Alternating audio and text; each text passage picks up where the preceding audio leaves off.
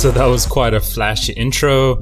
Uh, a lot of people have been asking what I've been up to for like the past year or so and what life is like, been like. So that's just like a little bit of a reel of the different type of stuff I've been doing. It's not always just been like 3D work. Um, it's been all sorts of stuff, including like photography and traveling and stuff like that. So a lot has happened, but that's just like a bite-sized version of it. But today I wanted to do a photogrammetry tutorial, so we'll get to that section now. Um, a lot of people have been asking me how I went about doing the Nike project, and it was quite complex and quite complicated and really advanced, which is why I hesitated making the tutorial because a lot of people still ask me like where certain buttons are in Cinema 4D and things like that, and I was afraid of making something super complex.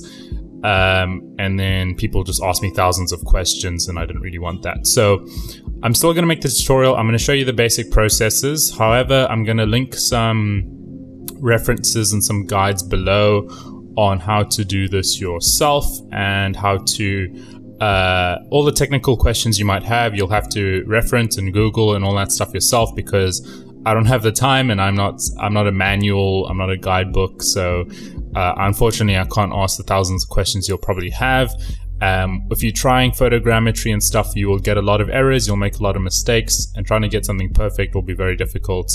Um, I struggled enough to do that, and it took me like two weeks of researching to eventually um, figure it out. And unfortunately, I can't help everyone if they're having issues. So, again, everything will be linked in the description, all the resources and stuff, um, and then we'll get into actually the process of making this. So, things you'll need is a camera, a tripod, uh, either digital digital cameras preferred, or you could just use a cell phone. And then you'll need a shoe and maybe a light tent and maybe um, a rotating box. So it depends on the methods you're using. There's I'll link some um, resources below, and you can choose whatever way you want to do it. But this is the way that I made the Nike commercial and the way I scanned everything. So first, we'll just go into the process of um, actually scanning it and what the scene setup is like, and then we'll go into importing them into Lightroom, editing them, and then we'll go into importing them into our scanning software, and then how we process everything. And um, yeah, I hope you guys enjoy. Hopefully, this tutorial won't be five hours long because it's quite complicated. Uh, again, I'm not going to expl explain all the details and like where to press all the buttons because uh, that's just going to take too long. And if you have any questions and stuff, just Google it, read some blogs and manuals. It's quite a complex topic. And yeah, let's get on to the tutorial. So this is what our typical setup looks like. We've got our camera, we've got our lens, and we've got our light here. So if I go and turn this light on, that's what it looks like. And it just adds a little bit of light, especially if you get a lot closer with the camera, for example. Um, it can really add some more light here. And then as well, you get like a controlled setting of how much light you want to add in. Um, so we've got our camera, our lens, our light, put it on a tripod. And we've got a nice light tent here. As you can see, we've got some harsh uh, lighting that's actually coming from this direction, but because of this light tent is blocking a lot of that and providing uh, soft, even lighting. It's kind of hard to see on this camera, um, but it's providing like soft, even lighting around our object here. And then pretty much what I do is I just take a photo rotate it a bit, take another photo, rotate it a bit, take another photo, rotate it a bit. Um, and then after you've done a 360 turn, you just raise the tripod a bit, take one from maybe there, one from around there. Then you lower the tripod a bit, you can take one from down here and then down here as well. And then you pretty much just take 360 degree images of your shoe from 360 degrees and also at varying angles from there, there, there, there. And then once you've gone and taken all your photos, then you can go and pop that into Lightroom. All right, so now we're inside of Lightroom. We've gone and imported our images, and you can kind of see um, what these images looked like when I finally took them. So this is kind of the level of detail and quality that you would want when it comes to scanning your images. Obviously, it doesn't have to be this high resolution um, you might not be living up to the standards that I was when I was making this. Like I was capable of exporting like 16k maps and extremely high detailed 3D geometry. You might not need that. You might just need something very, very basic depending on what you're using this for. So here, if we zoom in, you can kind of see the level of detail that we're getting. Now, because of the lens I was using, it's not super, super sharp. So we might have to, inside of post, um, sharpen it up, just to add in those details. Um, if you have a really expensive lens, you will probably get sharper images than I did. Um, but in this case, this is just kind of what I got. So in this case, I shot it on a black background um, instead of a white one. Black background was easier because the photogrammetry software found it harder to pick up the back the black background, and that way it wasn't going to put in all those details when scanning it. So uh, the downside to the method I'm using here is you have this cloth here, and you're going to have to cut that out and then you're going to have to cut out this bottom shoe and then flip flip the shoe around and then scan the other side of the shoe and then combine them together. So uh, I thought I imported them into these folders here but I may not have. So if I just go to all photographs that was my bad. I thought I put them in different batches but it looks like I didn't. Um, so here you can kind of see the the bottom side of the shoe and the different angles I shot it at. And then in the end, all I did was I just cut out um, this the sole, cut out cut out the sole on the bottom, cut out the sole on on this side, and then when it was flipped over, I also cut out the top side, and in the end, I just combined them together as close as possible um, when I got the scans. And so um, another thing, you might want to have a very brand new shoe that's clean. this is a very dirty shoe, and I had to in post um, make it look less dirty, um, like remove all the brown and the dirt and stuff like that. So things like that you want to watch out for. Um, and you also want to make sure that your shoe doesn't move and doesn't change around because that's going to really confuse the scanning software. So good thing is tucking in the laces. Um, having hanging laces and stuff is just going to cause issues.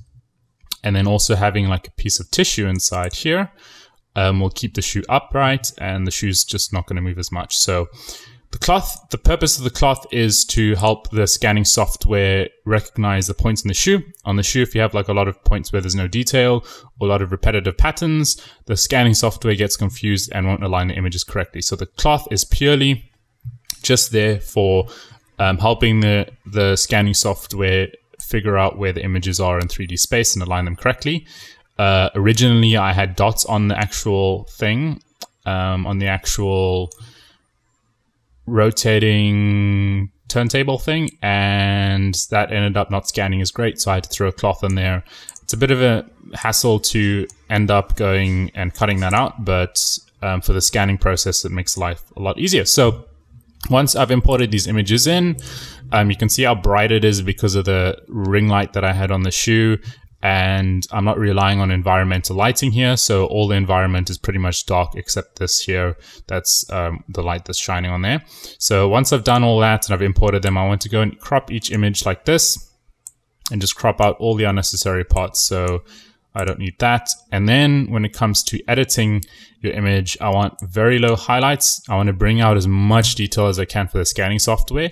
Once it's scanned, once it's processed, then in Photoshop, I can go and um, color grade it and make the shoe texture look the way I want it to and stuff like that afterwards. Right now, we just need as much detail for the scanning software. So dropping the highlights so it's not super blown out brings in the details on the bright areas. Lifting the shadows brings in the details on the dark areas. Now here the background is starting to come out and the scanning software is going to notice that. The scanning is going to get messed up. So I need to just drop the blacks here a little bit so that the background kind of disappears as much as possible.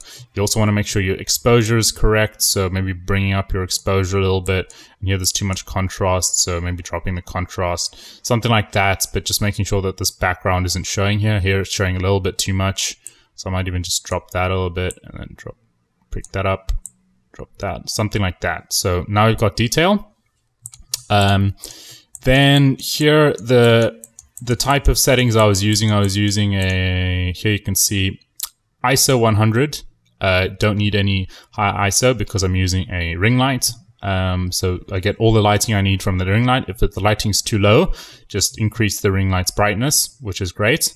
Then 30 millimeter lens, f22. f22 makes sure that there's not um, there's not a lot of depth of field. You don't want a lot of depth of field in your images because if you do, um, scanning software is going to get confused because of the blurring, the blurriness. The whole size of the shoe, the whole range of the shoe from the back to the front needs to be in focus. And then 0.7 seconds shutter speed, just so I can get as much light as possible in. um, without having to increase the ISO or anything like that. So here's another example. Just crop this in, maybe crop that because I don't need that. And then you just want to drop your highlights. So this looks, this doesn't look as good as it looks here, but it's not meant to look good. It's meant to give the, the scanning software as much detail as possible. Increasing the shadows a little bit, dropping the blacks a little bit. And then other things, your effects here. So you know, your lens corrections, just making sure that there's no lens effects that's wrong here. So um, just applying some chromatic aberration lens effects, lens effects, and any like profile corrections you have, like um, distortion or anything like that. And then if your photo is like really not sharp, you can increase like the sharpness here just to help your scanning software start to pick up a bit of those details in your shoe. Um, and yeah, so once you've done that, you want to export all your images as TIFF files, preferably. TIFF files are massive, um, but it'll make sure that you get uncompressed files for scanning. And also you want to export at the highest resolution as you can. But that will, if you're exporting like super high resolution files like I did, your scanning and all that will take forever. Luckily, I've got a 2080 Ti and a 1080 Ti, which did all the processing. So for me, it took like five to eight hours to do all the processing in total. I just went for like a run, went for lunch, came back, um, and it was done. Um, but if you don't have a great PC, some people it takes days, even up to like a week. So just watch out for that. So now we've gone and exported all the images, and now we go and import it in here. Here you can see all the images that we've got. And pretty much we've got like different chunks here. So this is uh, different variations and trials that I've used. So here's like the bottom side scan, then there's the top side scan, and um, here you can see a little bit of the cloth showing down there. And then here's like the chunk. Here's the top the top side with the um, cloth deleted and the cloth cleaned out. Here's the bottom side with the top part deleted and top cleaned out. And then here's the two merged together. So if you want to know how to do all this, there's a lot of tutorials. I can't crunch it all into one. That will take hours. Um, Google like scanning tutorials in Agisoft or Metashape or um, whatever software, Meshroom. Um, and it's a learning process. This took me like two weeks to learn, so I can't crunch it all down into one. Um, and then there's like some great tutorials. This one chick tried to like photo scan a rock and like she showed how you can like in- introduce like tracking points and in- create these tracking points so that you can scan them all together and align them together. And then it's a process. I trialed and errored this a lot. Um, sometimes the scan would look horrible. It'll just look like a burst of points scattered everywhere. And I had to just re try and figure out like problem solving. That's the whole, that's my job. My job is like to problem solve um, when it comes to 3D scenes and stuff like that. So the rest was just problem solving, um, figuring out what was going wrong, and then fixing those issues. So eventually, I ended up with something like this. Very, very beautiful. All the images are aligned 100% correctly. Here you can see all the sections where I took the shoes from. So I took a row from all these sections here and it ended up with 485 different images. High resolution images, 485 of them. And you can see why that introduced, why that created a beautiful scan in the end. So now here's the retopologized version here as well. So you guess you'll only really see that if I go in here. So here is a much smoother version of it here. You can see it's not like super dense. Um, if, you if we check this one here, here you can see what it looks like just straight out the scan. There's a lot of um, imperfections and stuff like that that you might deal with, which might not look make it look as great. Here you can see there's a lot of imperfections in here and here. So I just went and retopologized it inside of um, ZBrush. that will take another tutorial for you to learn. Um, but here you can see there's a beautiful final mesh of the shoe. So, um, so yeah, so basically the whole process is you import all your images, um, you go and you line all your images, which will basically just calculate all the images and figure out where all the cameras are. And then you'll get something that looks like this.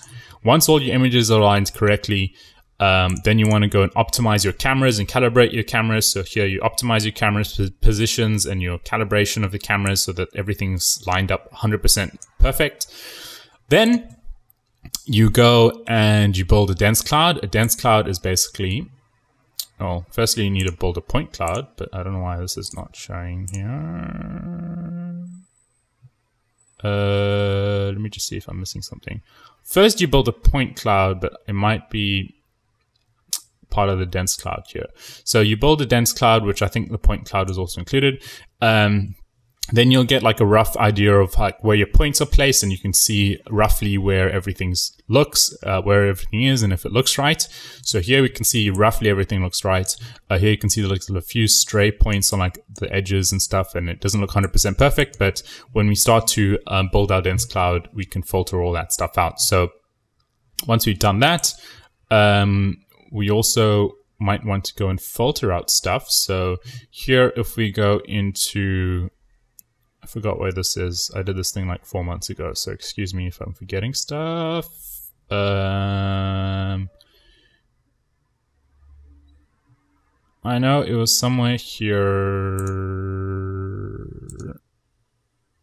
Okay, I'm forgetting. But there's a setting basically. Oh, oh yeah, here we go. Gradual selection. So here you can kind of select points based on their error rate here. So here you can select all the points that are like have a certain amount of error and reconstruction error. So I just read some manuals and I figured out what the optimized um, reconstruction error was rate here. So I any things that had a certain amount of error in terms of like the reconstruction, I went and deleted those using this thing.